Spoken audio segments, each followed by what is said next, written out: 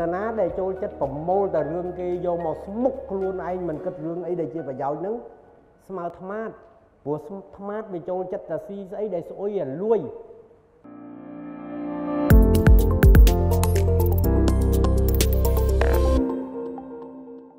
ចាស់ទុំយើងពីដើមអប់រំអីលោក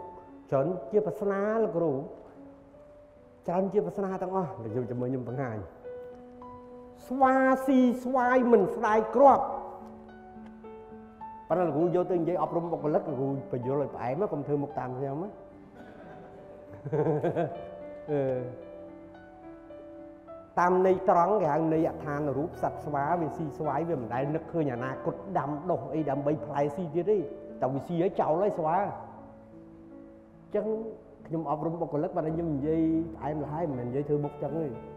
ដល់យើងទាំងអស់គ្នាជាបុគ្គលិកនៅពេលដែលយើងបានថ្ងៃហ្នឹងរស់ថ្ងៃហ្នឹងហើយមិនគិតចូលរួមក្នុងការសាងធ្វើឲ្យក្រុមហ៊ុនគ្រឹះស្ថានយើងរុងរឿងទៅមុខយើងនឹងអស់ការងារធ្វើព្រោះយើងជាមនុស្សដូច្នេះកុំធ្វើតាមស្វាអ្នកណាដែលគិតអញ្ចឹងគឺស្វាហើយណាឃើញទេមើលណាស្វាខ្លះលើកដៃអត់ហ៊ានច្រឡំមានអ្នកខ្លះច្រឡំអេសអូមួយនោះអត់ទេខ្ញុំអេសក្បាល សបាយរហូតឃើញទេថ្មាតស៊ីសាកសពមិនចិនណាយ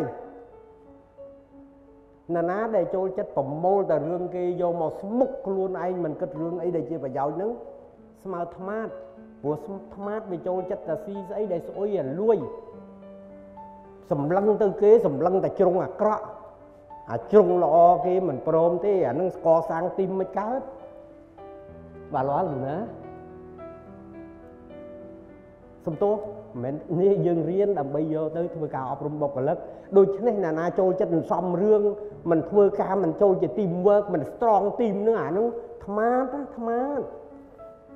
ព្រោះយើងយើងមនុស្សហេតុអីបានខំសាងខ្លួនឲ្យទៅជាថ្មាតឃើញទេ ដល់បុគ្គលិកស្ដាប់ទៅគុញជ្រៅហើយគុញខ្លាំងណាស់